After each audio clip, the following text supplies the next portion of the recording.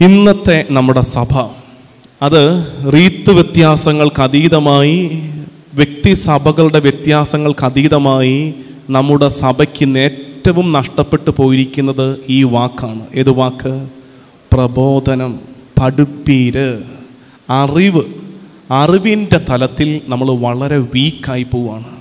അറിവിന്റെ തലത്തിൽ നമ്മൾ സഭാ വ്യത്യാസങ്ങൾക്ക് അതീതമായി വളരെ വീക്കായി പോവുകയാണ് സത്യമല്ലേ ഞാൻ പറയുന്നത് നമ്മളൊക്കെ ഇന്ന് കേവല മെഴുകുതിരി ക്രിസ്ത്യാനികളായി ചുരുങ്ങിപ്പോയിക്കൊണ്ടിരിക്കുകയാണ്. എന്തെങ്കിലും ഒരു ആവശ്യത്തിന് ഒരു കൂട് മെഴുകുതിരിയുമായി പോയി കത്തിച്ച് പ്രാർത്ഥിക്കുന്നു എന്നുള്ളതല്ലാതെ അതിനപ്പുറത്ത് തിരുസഭയുടെ പ്രബോധനത്തെക്കുറിച്ച് തിരുവചനത്തെക്കുറിച്ച് സഭയുടെ വിശിഷ്ട പാരമ്പര്യത്തെക്കുറിച്ച് അറിവുണ്ടോ എന്ന് ചോദിച്ചാൽ വലിയ അറിവൊന്നും ഇല്ല വലിയ അറിവൊന്നുമില്ല. ഭക്തരാണ്. നമ്മൾ നല്ല ഭക്തരാണ്. ഭക്തിയുടെ തലം ഓക്കെയാണ്. ഡിവോഷന്റെ സൈഡ് ഓക്കെയാണ്. ഇതിൽ ആർക്കാണ് ദൈവവിശ്വാസം ഇല്ലാത്ത ഇതിൽ ആർക്കാണ് ദൈവഭക്തി ഇല്ലാത്ത വിശ്വാ വിശ്വാസവും ഭക്തിയും ഒക്കെ ഓക്കെയാണ്. പക്ഷെ പ്രബോധനത്തിന്റെ ഒരു വശം അറിവിന്റെ ഒരു തലം വളരെ വീക്കാകുകയാണ് ഇത് ഞാൻ ഈ വിഷയം പറഞ്ഞു തുടങ്ങുമ്പോഴേ ഒരു പക്ഷേ നിങ്ങളുടെ ഉള്ളിൽ നിന്നൊരു ചോദ്യം വരും. അച്ചോ എന്റെ വല്യപ്പൻ എന്റെ അപ്പാപ്പൻ അല്ലെങ്കിൽ അവർക്ക് എന്റെ വല്യമ്മ അവർക്കൊന്നും വലിയ അറിവൊന്നും ഇല്ലായിരുന്നല്ലോ അച്ചോ? അവർക്കൊന്നും വലിയ അറിവൊന്നും ഇല്ലായിരുന്നല്ലോ. എന്നിട്ട് അവരൊക്കെ ഭേദപ്പെട്ട ക്രിസ്ത്യാനികളായിരുന്നല്ലോ. വലിയ കുഴപ്പമില്ലാത്ത ക്രിസ്ത്യാനികളുടെ അവരൊക്കെ പോയില്ലേ? അതെന്തുകൊണ്ട് അറിവ് വേണം? പ്രബോധനത്തിന്റെ ആ തലത്തെ എന്തുകൊണ്ട് നമ്മൾ തിരിച്ചു പിടിക്കണമെന്നുള്ളതിന്റെ കാരണം മനസ്സിലാക്കിയാലാണ് പ്രബോധനത്തിന്റെ റെലവൻസ് നമുക്ക് മനസ്സിലാകുകയുള്ളൂ. എന്തുകൊണ്ട് പ്രബോധനത്തെ തിരിച്ചു പിടിക്കണം അതിനെ ഗൗരവത്തോടെ എടുക്കണം? ദൈവജനമേ പഴയതുപോലെയല്ല പണ്ടത്തെ കാലമല്ല. അകത്തു നിന്നും പുറത്തു നിന്നും ചോദ്യങ്ങൾ ഏറുകയാണ്. ശ്രദ്ധിച്ച് മനസ്സിലാക്കുകയെ. അകത്തു നിന്നും പുറത്തു നിന്നും ചോദ്യങ്ങൾ ഏറുകയാണ്. എന്താണ് അകത്തു നിന്നുള്ള ചോദ്യങ്ങൾ? എന്താണ് അകത്തു നിന്നുള്ള ചോദ്യങ്ങൾ ഇവിടെ ഇരിക്കുന്ന മുതിർന്ന തലമുറ നിങ്ങളുടെ കുഞ്ഞുനാളിൽ നിങ്ങളുടെ അപ്പൻ നിങ്ങളോട് പറഞ്ഞു എടാ കൊച്ചെ പള്ളി പോ. ഇടി കൊച്ചെ പള്ളി പോ. നമ്മൾ പള്ളി പോയി. നമ്മൾ പള്ളി പോയത് കർത്താവ് തമ്പുരാനുള്ള അടിയുറച്ച വിശ്വാസം കൊണ്ടാണോ? അതോ അപ്പം പറഞ്ഞതുകൊണ്ടാണോ ഉത്തരം പറ. നമ്മൾ അന്നേ ആ കാലത്ത് നമ്മൾ പള്ളിയിൽ പോയത് എന്തുകൊണ്ടാണ് അപ്പം പറഞ്ഞു പള്ളിയിൽ പോകാൻ നമ്മൾ പള്ളി പോയി. വേറെ ചോദ്യമോ കഥയോ ഒന്നുമില്ല അപ്പം പറഞ്ഞു രാവിലെ എഴുന്നേറ്റ് പറഞ്ഞു പള്ളി ഒരുങ്ങി പള്ളി പോടാ. പിന്നെ ചോദ്യമൊന്നുമില്ല ഒരുങ്ങി പള്ളിയിൽ പോകുന്നു. ഇന്ന് അങ്ങനെയല്ല കാര്യങ്ങൾ. ഇന്ന് നിങ്ങളോട് നിങ്ങളുടെ അപ്പൻ പറഞ്ഞ ഓർമ്മയ്ക്ക് നിങ്ങൾ നിങ്ങളുടെ പിള്ളേരോട് പറയുകയാണ് എടി പെങ്കൊച്ചെ എഴുന്നേറ്റേ പള്ളിയിൽ പോയിക്കേ. ചെറുക്ക എഴുന്നേറ്റ് പള്ളിയിൽ പോയിക്കേ. അപ്പൻ പറഞ്ഞത് കൊണ്ട് പള്ളിയിൽ പോകുന്ന തലമുറയൊക്കെ കടന്നുപോയി. അമ്മ പറഞ്ഞത് കൊണ്ട് പള്ളിയിൽ പോകുന്ന തലമുറ കടന്നുപോയി. ആ പിള്ളേർ തിരിച്ചൊരു ചോദ്യം ചോദിക്കും. എന്താ ചോദിക്കുന്നറിയാമോ? എന്തിന് പള്ളിയിൽ പോണം? എന്തിന് പള്ളിയിൽ പോണം? അപ്പം നമ്മൾ വെപ്രാളപ്പെടുക അയ്യോ അങ്ങനെ ചോദിക്കാൻ പാടില്ല. അങ്ങനെ ഞങ്ങളങ്ങനെ ചോദിച്ചിട്ടില്ല. നിങ്ങളങ്ങനെ ചോദിക്കരുത്. എങ്ങാനും ചോദിച്ചു പോയാൽ തലതെറിച്ച തലമുറ എന്ന് പറഞ്ഞ് പിള്ളേരുടെ നേരെ മെക്കിട്ട് കയറുക. ആ പിള്ളേർ ഒരു തലതെറിച്ച തലമുറയല്ല. നമ്മുടെ ഇന്നത്തെ ഒരു ട്രെൻഡ് ഇപ്പോഴത്തെ പിള്ളേർ ഭയങ്കര മോശക്കാരാണെന്ന് സ്ഥാപിച്ചെടുക്കാനുള്ള പരിശ്രമങ്ങളാണ് നമ്മൾ നടത്തുന്നത് അല്ല. കേട്ടോ? ഒട്ടുമല്ല. തിരിച്ചേ ആ ആശയം മാറ്റിക്കേ. ഇപ്പോഴത്തെ പിള്ളേരല്ല മോശക്കാർ നമ്മളായിരുന്നു മോശക്കാർ നമുക്കെന്താ പറ്റിയെന്നറിയാമോ നമുക്ക് കാര്യങ്ങളൊന്നും മനസ്സിലായില്ലെങ്കിലും നമ്മൾ നന്നായിട്ട് അങ്ങ് അഭിനയിച്ചു കൊടുത്തു. നമ്മൾ നന്നായിട്ട് ഒരു മുൻ തലമുറ നമ്മളാരും നല്ല പിള്ളകളൊന്നും അല്ലായിരുന്നു. നല്ല പിള്ള ചമഞ്ഞു. അന്നും നമ്മളോട് പറഞ്ഞ കാര്യങ്ങളോട് നമുക്ക് എതിർപ്പുണ്ടായിരുന്നു.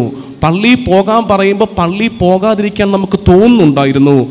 പള്ളിയിൽ കേട്ട പ്രസംഗങ്ങൾ നമുക്ക് മനസ്സിലാകുന്നില്ലായിരുന്നു ബോറടിക്കുന്നുണ്ടായിരുന്നു. പക്ഷേ എല്ലാരെ കൊണ്ടും നല്ലത് പറയിപ്പിക്കണം എന്ന ഒരു പരിശീലനം തലയെ കിട്ടിയത് കൊണ്ട് നമ്മൾ എന്ത് ചെയ്തു? ഒന്നും മനസ്സിലായില്ലെങ്കിലും നമ്മൾ ഇരുന്ന് തലയാട്ടി കേട്ടു. ആഹാ ഓഹോ കൊള്ളാലോ. ഒന്നും മനസ്സിലായിട്ടില്ല ഒന്നും മനസ്സിലായിട്ടില്ല. എന്നാലും നമ്മൾ തലയാട്ടിക്കൊണ്ടിരുന്നു. ഇന്നത്തെ കുഞ്ഞുങ്ങളെ അതിന് കിട്ടില്ല. അതുങ്ങൾ നേരെ കാര്യം പറയും. അതുങ്ങൾ പറയും അച്ഛാ ബോറടിക്കുന്ന അച്ഛാ പത്ത് മിനിറ്റ് പ്രസംഗം കഴിയും പിള്ളേർ പറയും അച്ഛാ ഇതെന്താ ഈ കത്തി അടിച്ചുകൊണ്ടിരിക്കുന്നത് ഒന്നും മനസ്സിലാകുന്നില്ല.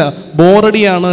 അല്ലെങ്കിൽ തിരിച്ചു ചോദ്യം ചോദിക്കും എന്തുകൊണ്ട് എല്ലാ ഞായറാഴ്ചയും പള്ളിയിൽ പോകണം എന്തുകൊണ്ട് വൈകുന്നേരം നമസ്കാരം ചെല്ലണം? നമുക്കാണെങ്കിൽ നമസ്കാരം ചെല്ലണമെന്നുള്ളതല്ലാതെ എന്തുകൊണ്ട് ചെല്ലണമെന്നുള്ളതിന്റെ കാര്യം അറിയാമേല ഞായറാഴ്ച കർത്താവിന്റെ ദിവസമാണെന്ന് പറയാമെന്നുള്ളതല്ലാതെ അതിനെക്കുറിച്ച് അതിനപ്പുറത്തൊന്നും പറയാനുള്ള വിവരം നമുക്ക് ഇല്ലാതായിപ്പോയി പ്രബോധനത്തിന്റെ ആ തലം അത് വീക്കായി പോയതിന്റെ വില നമ്മൾ കൊടുക്കുക. അത് ഞങ്ങൾ അച്ഛന്മാരും ഒരു ഒരു ഒരു കുറച്ച് കാലമായിട്ട് കഷ്ടപ്പെട്ടുകൊണ്ടിരുന്നത് ഭക്തരെ ഉണ്ടാക്കാനായി പോയി. ഭക്തരെ രൂപപ്പെടുത്താനായിരുന്നു ശ്രമം മുഴുവൻ. അതേസമയം ദൈവജനത്തിന് അറിവ് കൊടുക്കാൻ ഞങ്ങൾക്കും വീഴ്ച പറ്റിപ്പോയി. അതുകൊണ്ടാണ് പ്രവാചക ഗ്രന്ഥങ്ങളിൽ ഒരു താക്കീതുണ്ട് പുരോഹിത നിനക്കെതിരാണ് എന്റെ വിധി. പുരോഹിത നിനക്കെതിരെയാണ് എന്റെ വിധി. നീ ജ്ഞാനം പകർന്നു കൊടുത്തില്ല ദൈവജനത്തിന്. പുരോഹിതൻ അധരങ്ങളിൽ ജ്ഞാനം ജ്ഞാനം സൂക്ഷിക്കണം. ജനം പ്രബോധനം തേടി അവനെ സമീപിക്കണം. അത് പുരോഹിതന്റെ ഉത്തരവാദിത്തമായിരുന്നു. ഞങ്ങൾക്കും വീഴ്ച പറ്റിപ്പോയി. ഇത് കൂട്ടുത്തരവാദിത്തമാണ്. ഇനി നമുക്ക് തിരിച്ചു പിടിക്കേണ്ട ശൈലി പ്രബോധനത്തിന്റെ പഠനത്തിന്റെ പഠിപ്പീരിന്റെ ശൈലിയെ തിരിച്ചു പിടിച്ചേ പറ്റൂ. അതായത് ബൈബിൾ പ്രധാനമായിട്ട് എന്തിനുള്ളതാണെന്ന് അറിയാമോ? തിരുവചനം ഏറ്റവും പ്രധാനമായിട്ട് എന്തിനുള്ളതാ ഞാൻ ഇടയ്ക്കൊരു ചോദ്യമൊക്കെ ചോദിക്കാം. എനിക്കൊന്ന് ശ്വാസം വിടാൻ വേണ്ടിയിട്ട് ചോദിക്കുന്നതാണ് നിങ്ങളൊന്ന് സഹരിയെ ഏറ്റവും പ്രധാനമായിട്ടും തിരുവചനത്തിന്റെ ഉദ്ദേശം എന്താ? ബൈബിളിന്റെ ഏറ്റവും പ്രധാനപ്പെട്ട ഉദ്ദേശം എന്താ? വീട് പണിയാൻ വേണ്ടിയിട്ടാണോ? ഇന്നിപ്പോൾ അങ്ങനെ. വീട് പണിയാൻ വേണ്ടി പത്ത് വചനം പാക്ക് ചെയ്ത് കൊടുത്തിരിക്കുക ഇനി അതും ചൊല്ലിക്കൊണ്ടിരുന്നാൽ മതി. വീട് പണിയാനുള്ള വചനം. രോഗം മാറാനുള്ള വചനം പത്തെണ്ണം വേറെ. വിദേശത്ത് ഐ എൽ ടി എസ് പാസ്സാകാനൊക്കെ വചനമായിട്ടുണ്ട്. ഒ ഇ ടി പാസ്സാകാനൊക്കെ സ്പെഷ്യലൈസേഷനുള്ള വചനങ്ങളുണ്ട്. അതായത് നമ്മൾ ദൈവവചനത്തെ പോലും ആ രീതിയിലാക്കുമ്പോൾ എനിക്ക് പറയാനുള്ള കലഹം എന്താണെന്ന് വെച്ചാൽ this is not spirituality this is mere selfishness this is not spirituality ഇതിനെ ആത്മീയത എന്ന് വിളിക്കരുത്. ഇത് കേവല സ്വാർത്ഥതയല്ലേ. നമ്മൾ ഈ കൂടുന്ന ആൾക്കൂട്ടം മുഴുവൻ നമ്മുടെ മെച്ചം മാത്രം തേടി വരുമ്പോൾ ഇതിനെ ആത്മീയത എന്ന് വിളിക്കാൻ പറ്റുമോ ഇതിനെ എന്താ വിളിക്കേണ്ടത്? ഇതിനെ വിളിക്കേണ്ട ശുദ്ധമായ പേര് സ്വാർത്ഥത എന്നല്ലേ. ദൈവവചനത്തെ പോലും നമ്മുടെ കാര്യസാധ്യത്തിന് വേണ്ടി നമ്മൾ ഉപയോഗിക്കുമ്പോൾ ശരിക്കും ദൈവവചനത്തിന്റെ ഏറ്റവും പരമപ്രധാനമായ ഉദ്ദേശം എന്താണെന്നറിയാമോ? അത് പ്രബോധനത്തിനുള്ളതാണ്. ഇതവിടെ കിടപ്പുണ്ട്? രണ്ട് തിമോത്തി മൂന്ന് പതിനാറ്. എടുക്ക്. രണ്ട് തിമോത്തി മൂന്ന് പതിനാറ് എടുത്ത് അടിവര ഇട്ട് വെക്ക്. രണ്ട് തിമോത്തി മൂന്ന് പതിനാറ്. ഒരാൾ വായിക്കാം. വിശുദ്ധ ലിഖിതമെല്ലാം വിശുദ്ധ ലിഖിതമെല്ലാം വിശുദ്ധ ലിഖിതമെല്ലാം ദൈവനിവേശിതമാണ്. ദൈവനിവേശിതമാണ്. അവ പ്രബോധനത്തിനും അവ പ്രബോധനത്തിനും ശാസനത്തിനും ശാസനത്തിനും തെറ്റുതിരുത്തലിനും തെറ്റുതിരുത്തലിനും നീതിയിലുള്ള പരിശീലനത്തിനും നീതിയിലുള്ള പരിശീലനത്തിനും ഉപകരിക്കുന്നു. അതായത് ബൈബിളിന്റെ ഏറ്റവും പ്രധാനപ്പെട്ട ഉദ്ദേശം എന്താണത്? ടീച്ചിങ് ആണ് പ്രബോധനമാണ് പഠിപ്പീരാണ്. പക്ഷേ നിർഭാഗ്യവശാൽ ആ പഠിപ്പീരിന്റെ തലവേ നഷ്ടപ്പെട്ടു പോയിട്ട് ഇന്ന് രോഗസൗഖ്യവും വീട് പണിയും ഈ പറഞ്ഞ ഒ ഇ ടിയും കല്യാണവും കുഞ്ഞുങ്ങളും ഇത് മാത്രമായിട്ട് വചനം തീർന്നു പോയി. പ്രബോധനത്തിന് വിശുദ്ധ ഗ്രന്ഥത്തെ ഉപയോഗിക്കാത്തതിനെ അതിനെ ആ ശൈലിയിൽ നമ്മൾ സ്വീകരിക്കാത്തതിന്റെ വില നമ്മൾ കൊടുത്തുകൊണ്ടിരിക്കുക. ദൈവവചനത്തിന്റെ അന്തരാർത്ഥങ്ങൾ അറിയാൻ നമുക്ക് കഴിയാതെ പോകുന്നുണ്ട്. നമ്മൾ അതിനെ വളരെ പെരിഫറലായിട്ട് മാത്രം എടുത്ത് ഉപയോഗിക്കുമ്പോൾ അത് ഈ പ്രബോധനത്തിന്റെ ശൈലി എത്തുന്നില്ല. ഇത് ഈശോയും ആഗ്രഹിച്ചിട്ടുണ്ട് കേട്ടോ. ഈശോ പറഞ്ഞില്ലേ ഈശോ പലവട്ടം എടാ എടാ നിങ്ങൾക്ക് നിയമവും പ്രവാചകന്മാരും അറിയാത്തത് കൊണ്ടല്ലേ നിങ്ങൾക്ക് തെറ്റുപറ്റിപ്പോകുന്നത് അതായത് അറിവില്ലാതായി പോകുമ്പോൾ നമുക്ക് തെറ്റുപറ്റും അറിവില്ലാത്ത ശ്രദ്ധിച്ച് മനസ്സിലാക്കണേ അറിവില്ലാത്ത ഭക്തി അന്ധവിശ്വാസത്തിലേക്കായി പോകും. ശ്രദ്ധിച്ച് മനസ്സിലാക്കണേ ഇന്ന് നമുക്ക് പറ്റിക്കൊണ്ടിരിക്കുന്ന ഇതാണ്. അറിവില്ലാത്ത നേരറിവ് ശുദ്ധമായ അറിവില്ലാത്ത ഭക്തി അന്ധവിശ്വാസത്തിലേക്ക് ചാഞ്ഞു പോകാനുള്ള എല്ലാ സാധ്യതയുമുണ്ട്. നമ്മൾ ഇന്ന് കാണുന്ന പല കാഴ്ചകളും അങ്ങനെയല്ലേ? എന്തൊക്കെ വെറൈറ്റി ഓഫ് അന്ധവിശ്വാസമാണ് സഭയ്ക്കകത്ത് കടന്നു കയറിയിരിക്കുന്നത്. അതായത് ശുദ്ധമായ വിശ്വാസം പഠിപ്പിക്കുന്ന ക്രൈസ്തവ സഭയുടെ വിശ്വാസ ശൈലികൾ അകത്തേക്ക് ഈ അന്ധവിശ്വാസം നുഴഞ്ഞു കയറുന്നത് എങ്ങനെയാണെന്നറിയാമോ? അറിവില്ലാത്ത ഭക്തിയാണ്. അറിവില്ലാത്ത ഭക്തി. അതുകൊണ്ടാണ് നമ്മുടെ വാട്സാപ്പിൽ മെസ്സേജ് വരുന്നത് ഈ വചനം പത്ത് പേർക്ക് അയച്ചു കൊടുത്തില്ലെങ്കിൽ മൊബൈൽ പൊട്ടിത്തെറിച്ചു പോകുന്നത് അതുകൊണ്ടാണ് അറിവില്ലാത്ത ഭക്തി കൊണ്ട് വരുന്ന അപകടമാണ്.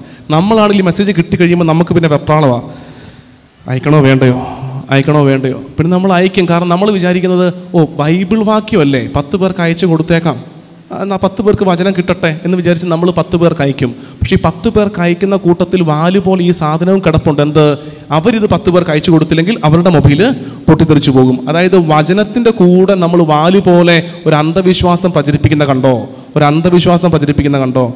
അത് എന്ത് എന്തുകൊണ്ട് നമുക്ക് ലോജിക്കലായിട്ട് ചില നേരം ചിന്തിക്കാൻ പറ്റുന്നില്ല? അങ്ങനെ ഇരിക്കുക അങ്ങനത്തെ കർത്താവാണോ നമ്മുടെ കർത്താവ്? പത്ത് പേർക്ക് വചനം ഫോർവേഡ് ചെയ്തില്ലെങ്കിൽ മൊബൈൽ തട്ടിപ്പൊട്ടിക്കാൻ വേണ്ടിയിട്ട് ചുറ്റിയും കൊണ്ടിരിക്കുന്ന കർത്താവിനെയാണോ നമ്മൾ വചനത്തിൽ മനസ്സിലാക്കുന്നത്? സഭ പഠിപ്പിക്കുന്ന അങ്ങനെ ഒരു ദൈവത്തെയാണോ? അങ്ങനത്തെ ആചാരങ്ങളിലേക്ക് അന്ധവിശ്വാസങ്ങളിലേക്ക് പോകാതിരിക്കണമെങ്കിൽ അറിവ് വേണം അറിവ് വേണം. പ്രബോധനം വേണം. അതുകൊണ്ടാണ് പഴയ നിയമം തൊട്ട് ഈ പ്രബോധനത്തിന് ശൈലിയുണ്ട് കേട്ടോ. ഈ ക്ഷേമ പ്രാർത്ഥനയുണ്ടല്ലോ ഷ്മാ ഇസ്രായേൽ നിയമാവർത്തന പുസ്തകം ആറാം അധ്യായം എടുത്തേ. നിയമാവർത്തന പുസ്തകം ആറാം അധ്യായം. നിയമാവർത്തന പുസ്തകം ആറാം അധ്യായത്തിന്റെ ആറാം വാക്യം. അല്ല അഞ്ചാം വാക്യം തൊട്ട് വായിച്ചു എന്നാലത് കൃത്യം മനസ്സിലാകത്തുള്ളൂ. നിയമാവർത്തന പുസ്തകത്തിന്റെ ആറാം അധ്യായത്തിന്റെ അഞ്ചാം വാക്യം തൊട്ട്. നിങ്ങളുടെ ദൈവമായ കർത്താവിനെ പൂർണ ഹൃദയത്തോടും പൂർണ ആത്മാവോടും പൂർണ ശക്തിയോടും കൂടെ സ്നേഹിക്കണം. ഞാനിന്ന് കൽപ്പിക്കുന്ന ഈ വചനങ്ങൾ നിങ്ങളുടെ ഹൃദയത്തിലുണ്ടായിരിക്കണം. ജാഗരൂകതയോടെ അവ നിങ്ങളുടെ മക്കളെ പഠിപ്പിക്കണം. യെസ് ആ ഒറ്റ വാക്യത്തിലേക്ക് ശ്രദ്ധ കൊണ്ടുവന്നേ. കർത്താവ് ആവശ്യപ്പെടുകയാണ് എന്ത്?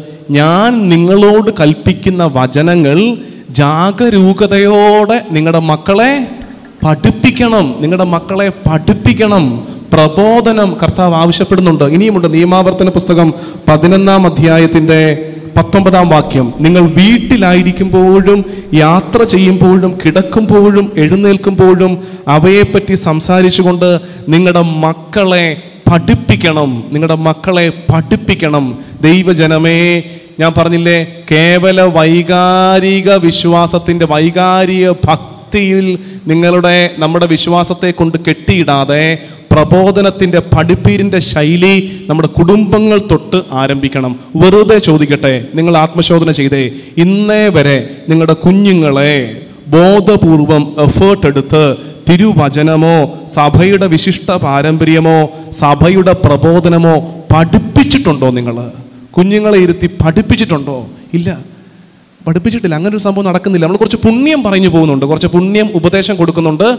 കുറച്ച് പ്രാർത്ഥന ഒരുമിച്ചിരുന്ന് പ്രാർത്ഥിക്കാമെന്ന് പറയുന്നത് അതായത് പഠിപ്പീര് നടക്കുന്നില്ല പ്രബോധനം നടക്കുന്നില്ല. അതിന്റെ അപകടം നമ്മുടെ കയ്യിലുണ്ട്. ഹാലേ ലുയ്യ ഹാലേ ലുയ്യ ഞാൻ ഈ പറയുന്നത് മനസ്സിലാകുന്നുണ്ടോ? ഇത് തന്നെയാണ് മത്തായുടെ സുവിശേഷത്തിൽ ഈശോ ഇവരെ പറഞ്ഞു വിടുന്നത്. മത്തായുടെ സുവിശേഷത്തിന്റെ അവസാനത്തെ അധ്യായം ഇരുപത്തിയെട്ടാം അധ്യായത്തിന്റെ അവസാന വാക്യത്തിൽ കർത്താവ് ആവശ്യപ്പെടുന്നതല്ലേ? ആകയാൽ നിങ്ങൾ പോയി എല്ലാ ജനതകളെയും ശിഷ്യപ്പെടുത്തുവിൻ പിതാവിന്റെയും പുത്രന്റെയും പരിശുദ്ധാത്മാവിന്റെയും നാമത്തിൽ അവർക്ക് ജ്ഞാനസ്നാനം നൽകുവിൻ. എന്നിട്ട് പറയുന്നു ഞാൻ നിങ്ങളോട് കൽപ്പിച്ചവയെല്ലാം അനുസരിക്കുവാൻ അവരെ പഠിപ്പിക്കുവിൻ. ഞാൻ നിങ്ങളോട് കൽപ്പിച്ചവയെല്ലാം അനുസരിക്കുവാൻ അവരെ പഠിപ്പിക്കുവിൻ. പഠിപ്പിക്കണം. അതായത് ഇങ്ങോട്ട് നോക്കിക്കേ ഇങ്ങോട്ട് നോക്കിക്കേ. നിങ്ങൾ വിശ്വസിക്കുന്ന കാര്യങ്ങളെക്കുറിച്ച് ഒരാൾക്ക് പറഞ്ഞു കൊടുക്കാനുള്ള ധാരണ നമുക്കുണ്ടാകണം. അത്രയേ ഉള്ളൂ.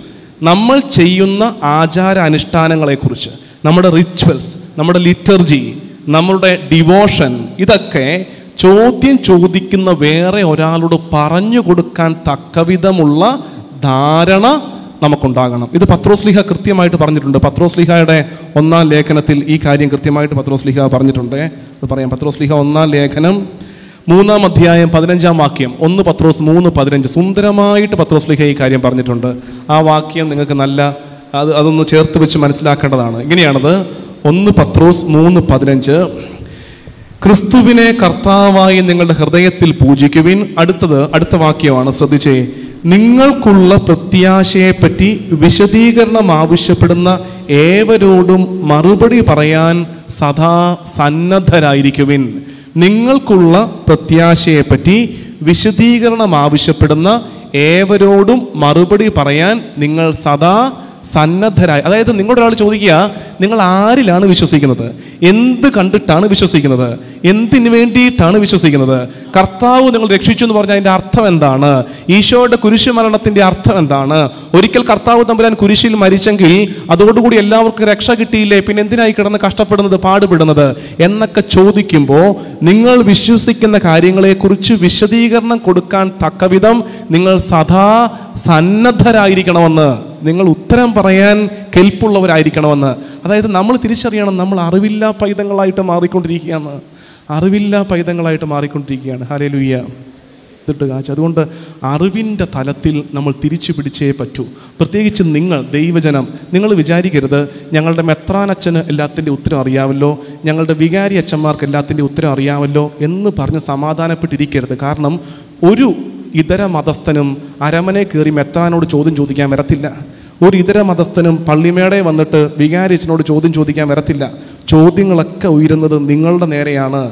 നിങ്ങൾ പണിയെടുക്കുന്ന സ്ഥലങ്ങളിൽ നിങ്ങൾ ജോലി ചെയ്യുന്ന നിങ്ങളുടെ കച്ചവട ഇടങ്ങളിൽ നിങ്ങളുടെ കുഞ്ഞുങ്ങൾ പഠിക്കുന്ന സ്കൂളിൽ ഒക്കെ ചോദ്യങ്ങൾ ഉയരുകയാണ്. ഉത്തരം മുട്ടി പോകരുത് എക്വിപ്ഡ് ആകണം നമ്മൾ. അതുകൊണ്ട് പ്രബോധനത്തിന്റെ തലം ഈ കേരള സഭ തിരിച്ചു പിടിച്ചേ പറ്റൂ. ഇടക്കാലത്തെപ്പോഴോ അതിനെ പണയം വെച്ചതിന് അതിനെ പണയം വെച്ചതിന് നമ്മൾ ഒരുമിച്ച് വില കൊടുത്തുകൊണ്ടിരിക്കുകയാണ്. അറിവിന്റെ തലത്തെ പഠിപ്പീരിന്റെ തലത്തെ തിരിച്ചു പിടിക്കണം തിരിച്ചു പിടിക്കണം ഹാലേ ലുയ്യ ഹാലേ ലുയ്യ